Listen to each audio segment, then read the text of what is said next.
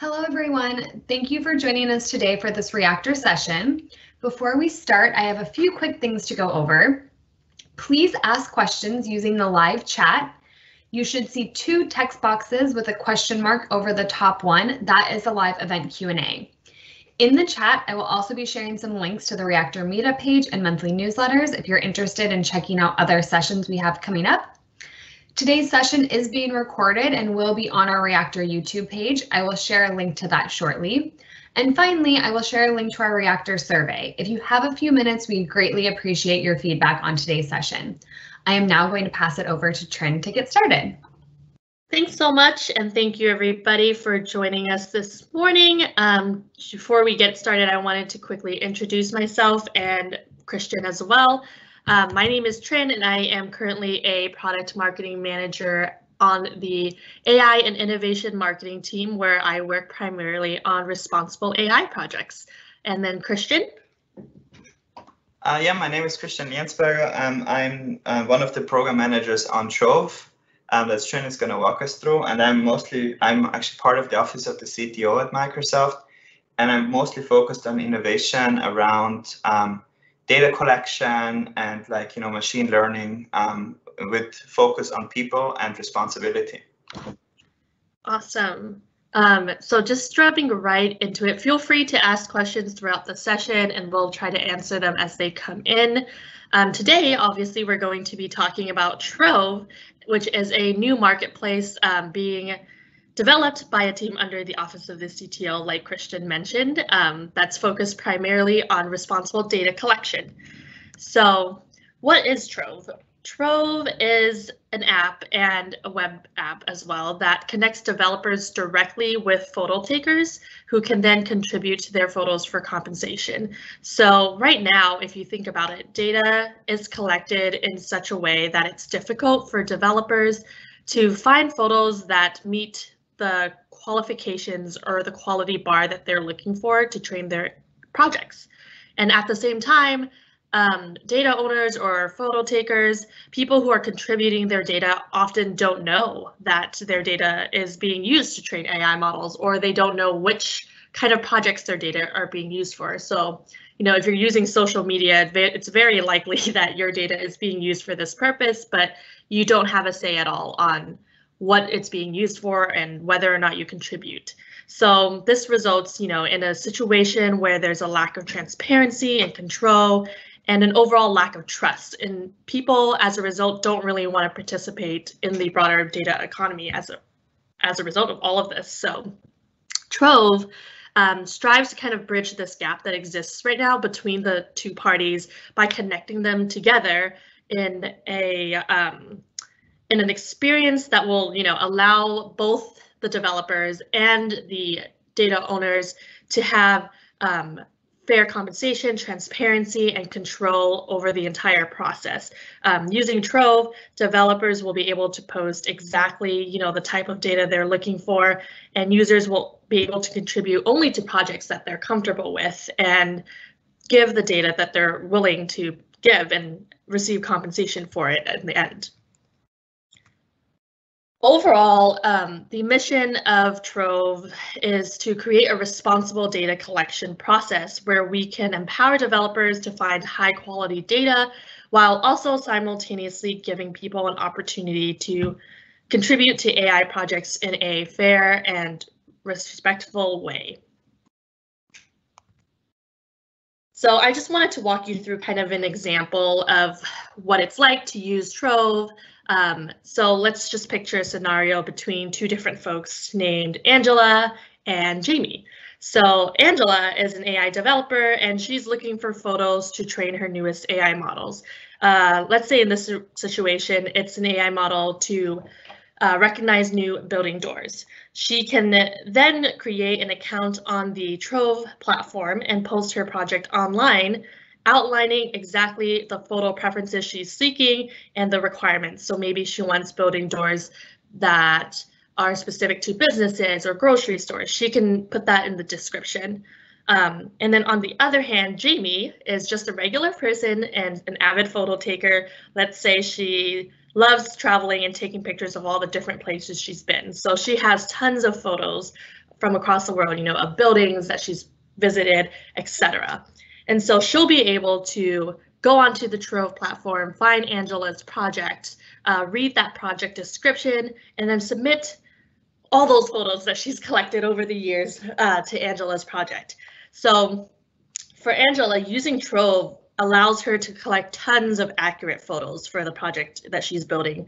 And she's able to, again, outline exactly what she needs and gather that data from tons of people from all over the world, um, like Jamie.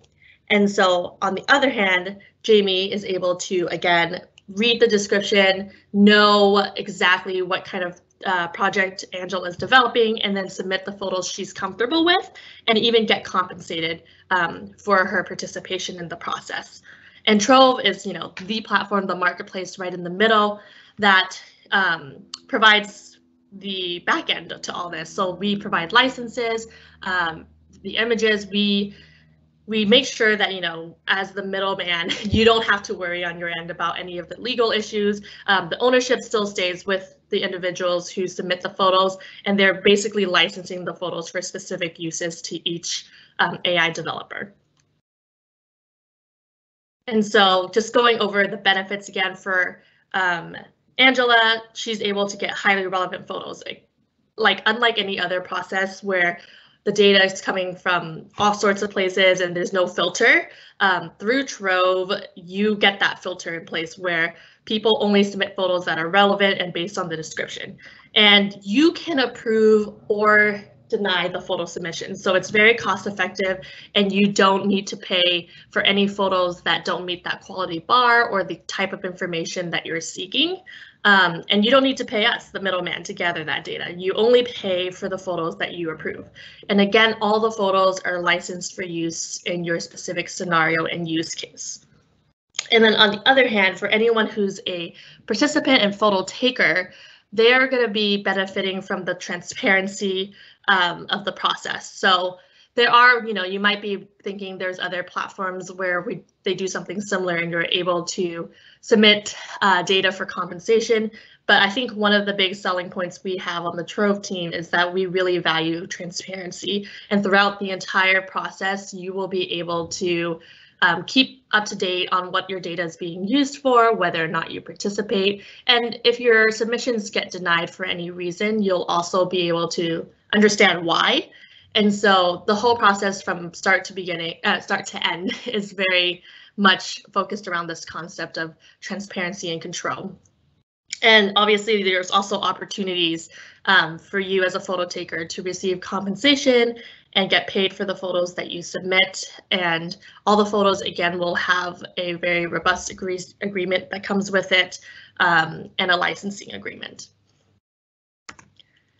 And so Trove right now, um, we launched very recently. We since then have collected over 25,000 photos for over 20 different projects um, spanning so many different things. We have optical character recognition, object recognition, visual search. Um, here's just some of the examples that um, of images that people were seeking using Trove. As you can see, there's you know very basic things like keys all the way to car makes and models. The specificity can really range here. Um, the only thing that we don't um, support at the moment is anything that contains personally identifiable information. So if there's images of people or license plates, things like that, we we don't do that level of data collection at this point. And so um, I'll take you really quickly through the actual experience of signing up for Trove and what it's like to use the, the app. So as a photo taker, um, you can right now go and download the Android app at the Google Play Store, or you can access the web app at trove.microsoft.com. Um, once you go there, you'll be able to create an account or log in using your Microsoft um, account email. And once you're onto the app, you, the first thing you'll see is um, a list of all the projects that are available at the moment. So in this first screenshot on the left, um, you see three different projects, you know, around food, photos, hotel receipts, and plants. So you know already, fresh off start that these are the types of photos that they're seeking that is available on the platform. Let's say you're interested in food photos because you take a lot of food photos like everyone else these days. Um, you can go ahead and click into that specific project and land on that second view you see here where you'll see first off who's requesting these photos. Here it's someone named Daisy R. Um, you can see that if you submit a photo, you will get 70 cents per photo that is approved. And the project right now um, is going to be live for two months and hoping to collect a thousand photos overall. And so right below that, you'll be able to also see the description of the project and how the photos will be used. And that's where we start getting into the value of transparency, right? So you can know exactly why they're looking for food photos and what kind of AI model they're building with that data. And then on the third view here, this is the profile view, which will exist for both uh, project, uh, pod, sorry, that will exist for both buyers and sellers. So if you're posting a project, you can have a profile page as well as if you are submitting photos. And on the profile page, you will also be able to include an about section that you know describes a little bit more of who you are and the kind of photos you have or the kind of work that you do. Um, you can also see project activities. So if you have participated in tons of projects, that information will be available here, um, just so um, any other project owners can see your profile and be like, hey, you've actually participated a lot in um, collaborating on AI projects. And then the cool feature also is that we have a review section for both um, buyers and sellers. So after you submit a photo, and I'll show you what that looks like in a second, um, both the buyers and the sellers can rate each other and say like, hey, this person's really great at providing accurate photos, five stars, or, you know, maybe they're not as familiar with the platform yet and they get a little confused. So you can let them know like, you know, how they can improve in the process. And so this also just gives a little bit of insight into the people that you're contributing your data to and also for the project owners, the people that are providing that data about who you are and how you, um, you know, how you've been doing when it comes to uh, this entire data economy process. Right, so the developer experience is a little bit different than the seller experience, obviously. Um, we very much recently just launched a web portal page to make the developer experience uh, more seamless, and that's what I'm going to walk you through right now. So the developer web portal page is obviously going to be on the browser. Um, when you log in, you can land on this page here where you'll see all of the different projects that you have on the Trove platform. So let's say like you have 10 projects. um, you'll be able to come in here and see 10. In this example, there's just one that's for book photos. Um, you will also be able to see like a kind of summary for the book photos on the side here where you see like pending, there's 1462 photos pending right now. Um, and it's also going to show up here. If you have multiple, again, you'll be able to see all of them on this screen, but in this case, we just have one. Once you click into the pending, you'll be able to see all the different people who submitted photos to your project and the photos that they submitted. So in this view, you can see three different folks have submitted photos, Ashley, Daryl, and Thomas. Um, once you hover over their names, you can see again like a little high level overview of their profiles, like the accuracy rate of their photos and how many they submitted to you and how many you might have approved. If for some reason you want to contact them, you can go ahead and do so directly on this page. Um, and then you can then go and just start clicking into the photos and approving or rejecting them based on whether they fit the description that you provided.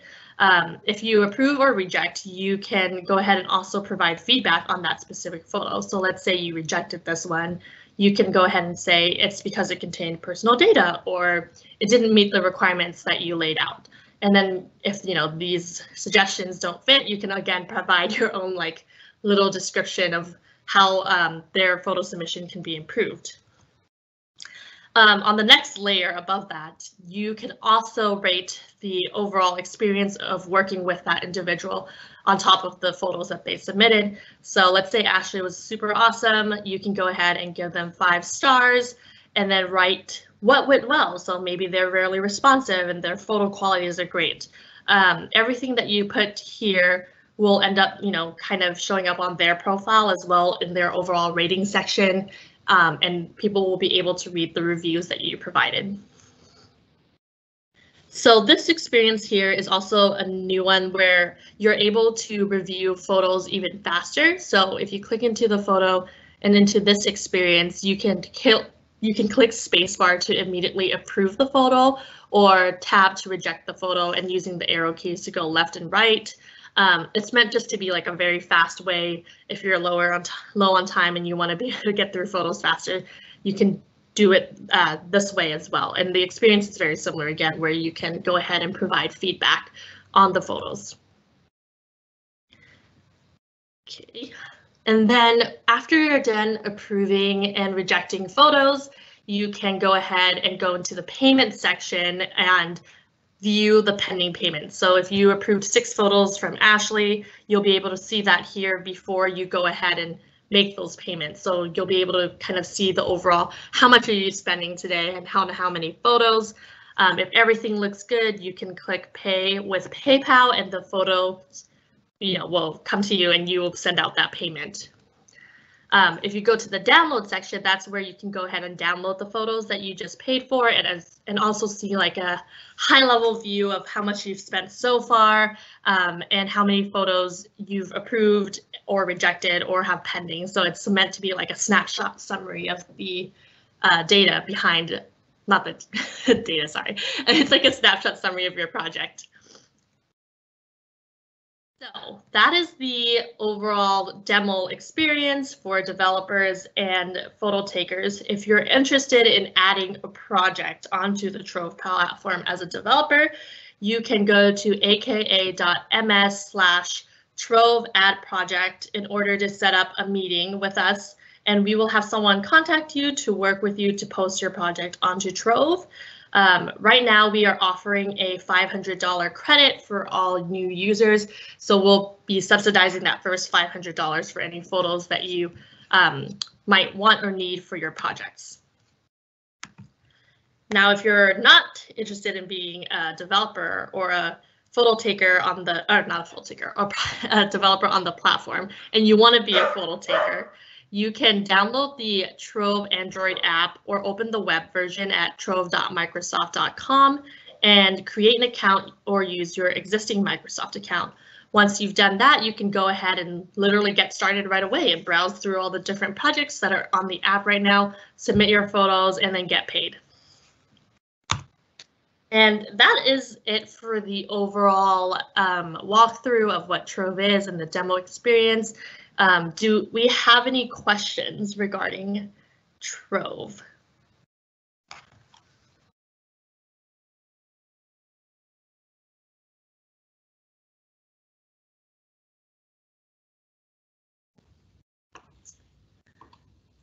Um, there's no questions in the chat at this time.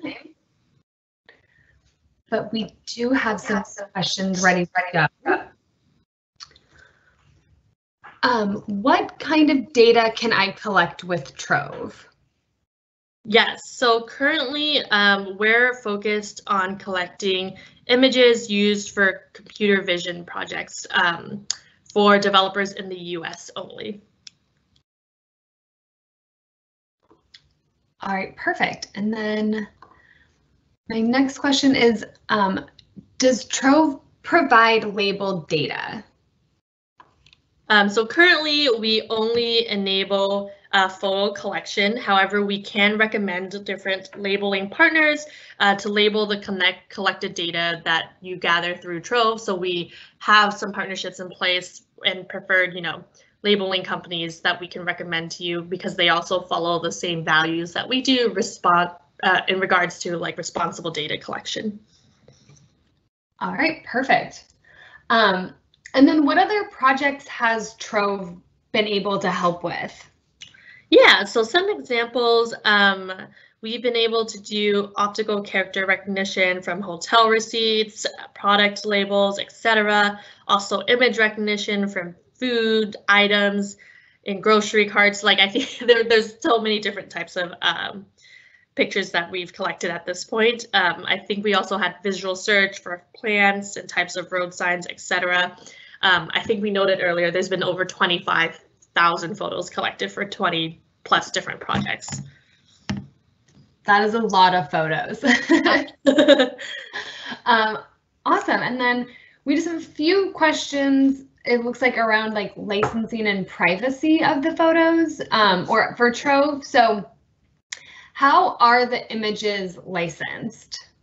Um, so right now, images from Trove are licensed for you and any authorized subcontractors to use and for the use cases specified in your project. So depending on the type of data, the terms of use might be indefinite or limited time.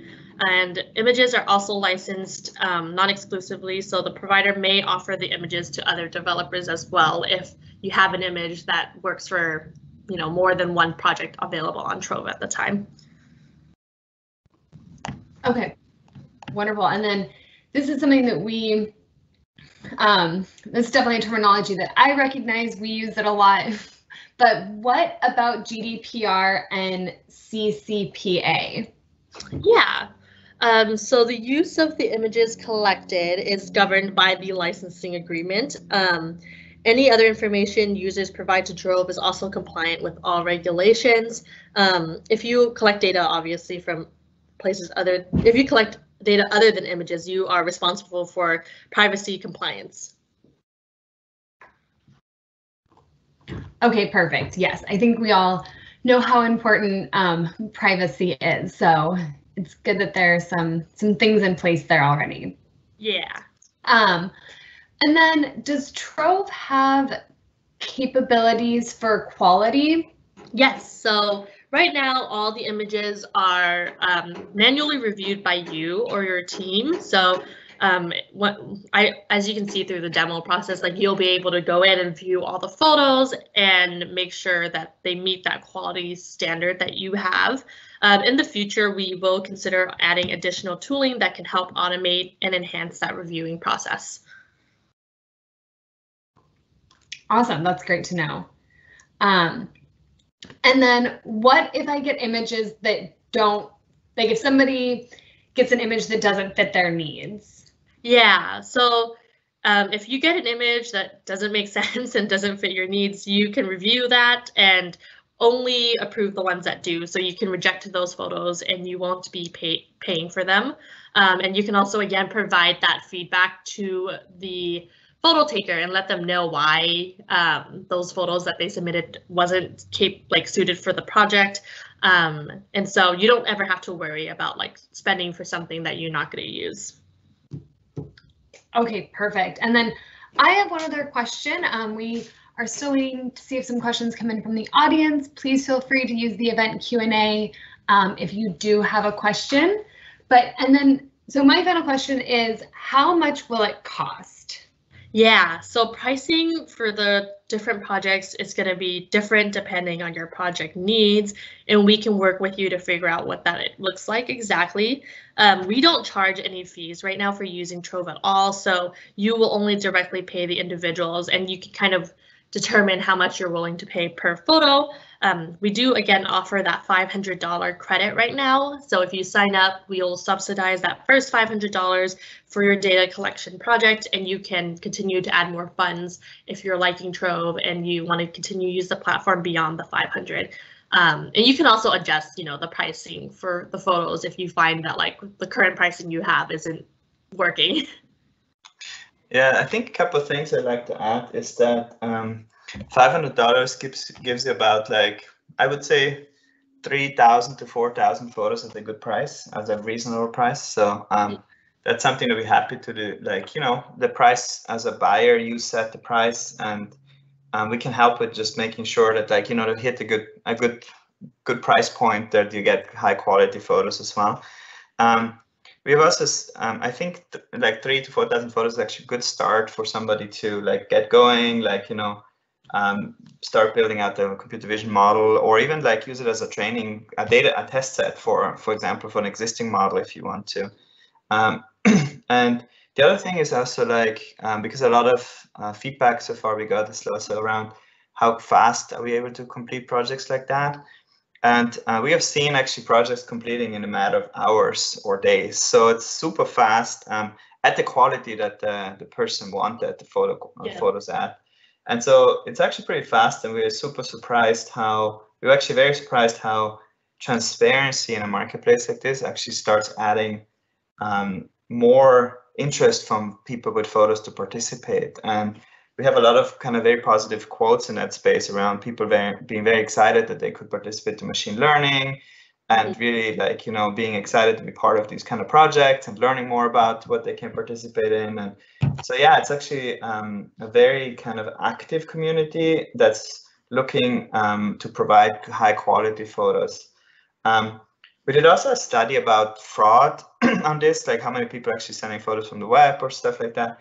And so far, it's been very, very low percentage wise. It was like very, like it was, it was neg neglectable. Um, so people sent their own photos um, from their own phones, from their own camera roll, um, which is also very, very encouraging as part of this. Um, so it seems like taking an approach that's more open, transparent, um, helps like with um, photo quality and also excitement yeah. and basic quality and time to completion, which is um, is very very encouraging for us. So, um, but we're looking for more projects. So if you have any computer vision needs, um, the $500 credit takes a quite a quite quite a bit, and um, it's something that we're willing to give to to everybody who signs up and puts the project in. That's awesome. Um, is there anything else before we go that you think would be helpful for the audience to know um, about Trove or this process or sort of what their next steps could be? Yeah, an issue I, I can add maybe a little bit to that. Um, so go to um, Trinh, if you can go back one slide or two with where the URL was. Um, go to like aka.ms Trove ad project um, and fill out the couple questions there. Um, then we set up some time with you. Um, I think the most important thing is like um, to know is that we are early on. So we are um, we have a, a, community like about 5,000 photo takers right now that are active on the app um, that are can help um, with your needs. Um, we have we also have somebody on staff here that can help with even reviewing some of the photos if you want. So there's like the ability to even not just you having to look through the photos, but we can help with support that as well, given where we are with the project and how we want to get more um, more data collection efforts in.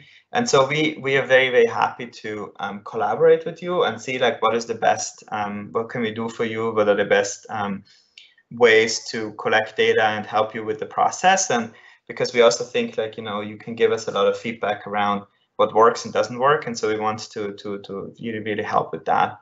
Um, so I think it's like, think about it more like as like, hey, come in, you get photos for computer vision, they're high, high quality, um, they're the price you want, and then they're also like pretty, pretty fast in completing your request.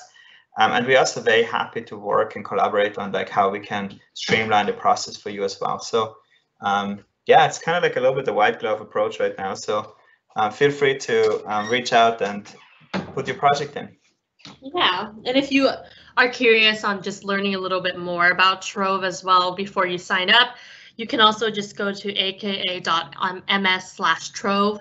So it's this URL here, but without the ad project part, and that'll be the Trove homepage where you can kind of browse through um, a little bit more content on what Trove is and um, read some testimonials from people who have participated as well. Perfect. And we did get one question that came in. Um, and it was from someone who came in a little bit late. So they were just wondering how the team came up with this idea. Like, what made you want to start Trove um, and move forward with this project? Yeah, let me let me maybe take that because it was something that um, you know has been with us for a while. So um, Trina already talked about responsible AI, and we were also thinking about how do we actually build a better economy on the internet for people with data? Um, and so when you think about like how um, you know today like there's competitors to Trove where you can actually go and source data, but we found that um, or people don't know really well about what's going to happen with that data. We did a bunch of custom interviews with people that are working in these platforms, and they had really no no knowledge about it, which made it really hard for them to participate in a good way and like be engaged and excited about it. Or um, we found out that a lot of data is just scraped from the web, or like you know um, through some terms of use collected in apps, which is not very transparent. And so we're thinking about like how do we actually build a better economy where people can participate more actively in in this in this process and be actually part of machine learning and not be kind of the folk like data is actually so crucial to to computer vision and any machine learning but it's always like a little bit something that's like an afterthought it's always like the people that built the models are the heroes but the data actually is not mentioned as much. But even though like the data is really really crucial and you may know how bad data can actually really make the model like you know go south you know like not not work well. And so we've said so how what do we do how could we think about building something where people that have photos are more empowered to um, be part of like that um, process of creating machine learning, know more about it, learn more about it, um, feel more part of that with the hope that we would get more diverse people to participate, like more people participate that maybe in the current environment don't want to participate or um, just participate without knowledge. Um, and then also, how do we make that for AI developer more exciting so that they could actually get you know better quality like at a reasonable price um, and also like you know um, you know get maybe more diverse data um, because that was another finding we had that like there's only specific demographics and user groups that participate in some of these mar- uh, these um, systems today because they're um, they don't have a lot of other opportunities you know and so far it seems and then we said like okay let's try this with a very simple example let's um, build something that's very literal, like, hey, I can contribute my photos to computer vision projects, you know, it's very, very literal. And you could imagine that this in the future goes beyond that, whereas like, hey, how do I contribute other things I have, you know, documents, sounds, like, you know, maybe my browsing history, maybe knowledge and expertise that I have and things like that. But we started with something very literal for us to try it because it makes it very concrete and, and specific. Um, and um, we've been very, very excited to see how um, that actually seems to be interesting. And we have, as I was saying, like more diverse set of people participating. We have people that are like, they just do it. Also, we had um, calls with some folks that sent photos and they told us like, yeah, the money is very interesting, but like we're also very excited about to learn what projects they are, what why the data is being collected, feel part of like being part of building machine learning and like we never knew that I could be part of this and do this, but like with Trove I can, you know. And so there's more of like a kind of like a um, excitement, you know, that this builds. and so yeah, so the first validation seemed to be seem seem to be pointing in the right direction. Um, yeah, but um, yeah, that's how we came up with it. I hope that answered the question. Yeah, that's great. Thank you so much. Um, well, it looks like that is it for questions. So unless there's anything else um, that either of you wanted to mention before we go? Um, another thing is like if you have more questions, um, you can also um, just reach out to us directly. Um, we it's on the on the form that um, Trinh like the aka.ms slash trove at project. There's an email there, so you can go directly um, to um, connect with us. But you can also send us an email at um, trove at microsoft.com um, and we'll we'll get it and we'll like um, be able to um, you know um, get back to you with like if you have any questions or you just want to chat more about this project with us. Um, super happy to like set up some time or like you know communicate over over mail about this. Perfect. Thank you both so much for your time today and thank you everyone for joining. As I mentioned at the beginning, there are a few links in the live event Q&A. We have a link to the Microsoft Reactor meetup page and newsletter, a link to our Reactor YouTube page where the recording of this session as well as other past Microsoft sessions are. And then finally, a link to our Reactor survey. If you do have a few minutes to fill that out, we would greatly appreciate your feedback. And thank you so much, Trinh and Christian. This has been great. Thank you so much. Have a great rest of your day, everyone. Thank you.